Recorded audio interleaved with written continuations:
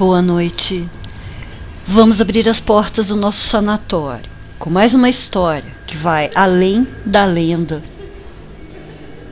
Acredita-se que a lenda da Mãe do Ouro começou a se espalhar provavelmente no auge da época do ciclo do ouro, no século XVIII, nas regiões das Minas de Ouro, Minas Gerais, Goiás e Bahia. Na maioria das vezes em que foi vista, foi descrita como uma bola de fogo muito brilhante que surge fraca e vai crescendo e ficando cada vez mais luminosa. Ela percorre um pedaço de caminho e vai enfraquecendo até desaparecer por completo. Já outras pessoas dizem que se trata de uma entidade feminina, com cabelos dourados que refletem a luz do sol, sempre vestida de branco e que se transforma na bola de fogo, e vice-versa. Segundo a lenda, ela voa e indica onde estão as jazidas de ouro que não podem ser retiradas. E assim, ela protege esses lugares de serem destruídos pela mineração. Caso não obedeçam, eles são atraídos para uma caverna, crentes de que vão ficar ricos, mas acabam ficando presos para sempre.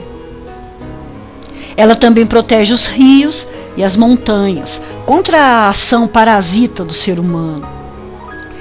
Há também quem diga que a mãe do ouro protege as mulheres que sofrem na mão dos maridos.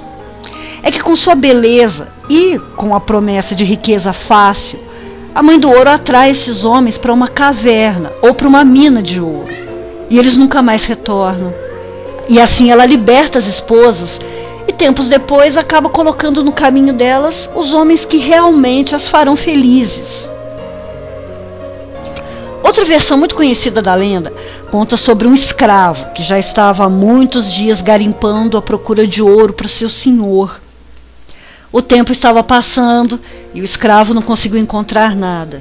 E já sabia que levaria uma surra quando voltasse à fazenda. Nessa hora a mãe do ouro apareceu e pediu a ele fitas coloridas e um espelho. E se ele trouxesse, ela o ajudaria a encontrar o ouro. Só que antes ela avisou que ele jamais deveria dizer a ninguém onde teria encontrado o tesouro. O escravo fez a promessa depois de um tempo, deu a ela os presentes e voltou à fazenda com mais ouro do que podia carregar. Vendo tudo aquilo, o patrão exigiu que o escravo contasse a localização da mina. Ele tentou guardar segredo o máximo que pôde, mas foi muito açoitado, castigado, e aí, quando já não aguentava mais, acabou falando. Imediatamente, o dono da fazenda, outros escravos e capatazes seguiram até a mina e começaram a escavar. Quando finalmente chegaram na jaziga, tudo desabou, matando os soterrados.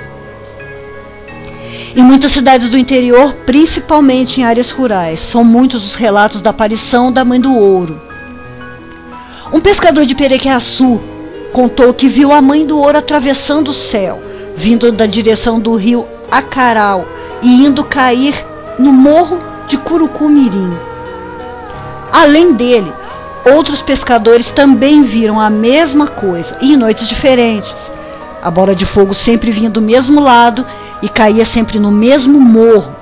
Segundo eles, seria indicação de que há um tesouro enterrado lá. E o interessante é que antigamente, no morro, havia um casarão e ao lado um túnel, onde os antigos contam que tinha muito ouro escondido. Esse ouro era garimpado em Minas Gerais e deveria seguir para a corte em Portugal, mas teria sido desviado e escondido ali. Por algum motivo, ninguém nunca veio recuperar o tesouro e tudo ainda continua ali, naquele túnel, que hoje é cheio de cobras, outros bichos peçonhentos e também os desmoronamentos que são frequentes. Muitas pessoas já tentaram, mas desistiram de encontrar o ouro, e a certeza de que ele continua lá é a aparição da mãe do ouro, caindo sempre no mesmo lugar. Outro ponto com muitos relatos sobre a aparição dela é o Pico do Jaraguá, em São Paulo. De Uberlândia, Minas, vem outro relato bastante conhecido, do início dos anos 70. Na antiga fazenda Mata Burros, ela era vista, atravessando o céu todas as noites, fazendo com que os moradores se trancassem dentro de casa assim que anoitecesse.